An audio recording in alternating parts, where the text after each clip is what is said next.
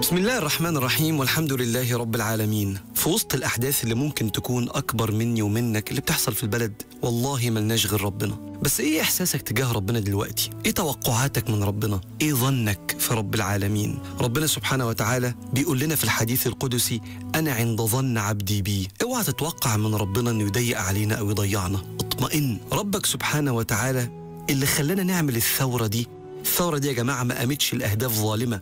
الثورة دي قامت عشان الحرية والعدالة الاجتماعية والكرامة الإنسانية. أصلا دي أهداف الأنبياء. علشان يعلوا من كرامة الإنسان فاطمئن. الثورة دي قامت لإعلاء القيم الربانية النبوية. والثورة دي أصلا عملها شعب ربنا بيحبه شعب مصر وسيدنا محمد بيحبه. ربنا بيحب مصر فذكرها في القرآن أربع مرات. وسيدنا محمد عليه الصلاة والسلام بيحب مصر فأوصى الصحابة. أيوة ما دخلش مصر صلى الله عليه وسلم لكن قال لهم حتى لو أنا ما كنتش معاكم وانتوا بتفتحوا مصر فاستوصوا بأهلها خيرا فإن لهم رحما ونسبا. إحنا قرايب النبي عليه الصلاة والسلام. لأن جدة النبي الكبرى السيدة هاجر زوجة سيدنا إبراهيم جد النبي الكبير من مصر والسيدة ماريا زوجة النبي عليه الصلاة والسلام من مصر. فإحنا قرايب النبي ونسايب النبي فوصى علينا الصحابة.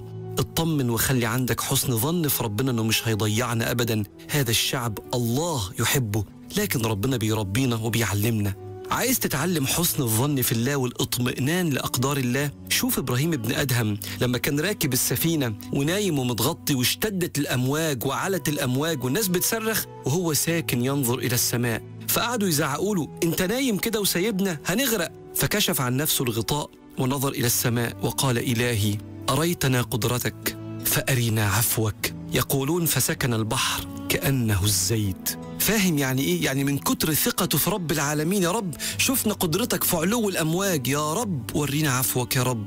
لكنه كان عنده حسن ظن إن رب العالمين مش هيخيب دعوته ولا يخيب رجائه فالبحر سكن بأمر من العزيز الجبار كأنه زيت كأنه مية تقيلة.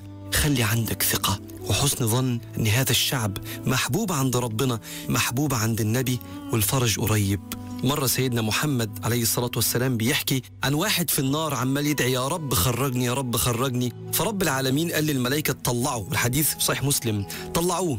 فضل ربنا سبحانه وتعالى يفكره بذنوبه وبعدين العبد اعترف فقال للملائكة ترجعه تاني للنار. فهو راجع للنار والملائكة بتشده قاعد يبص حواليه كده مستغرب. فربنا قال له عبدي فيما الالتفات؟ بتبص على إيه؟ قال ربي ظننت أنك إذا أخرجتني من النار لا تعيدني فيها.